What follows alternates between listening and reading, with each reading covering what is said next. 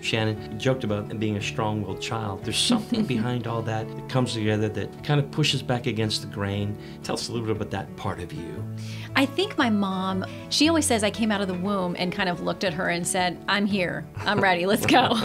so I think that she did a really good job of funneling and channeling that energy and that drive and that cantankerousness, I guess, that I had. If somebody would tell me you can't accomplish something, I would find five different ways to try to get it done. And I think about one of the very first verses that she taught me is in Philippians about do nothing through strife or vainglory, but in lowliness of mind, esteem others better than yourself. Mm.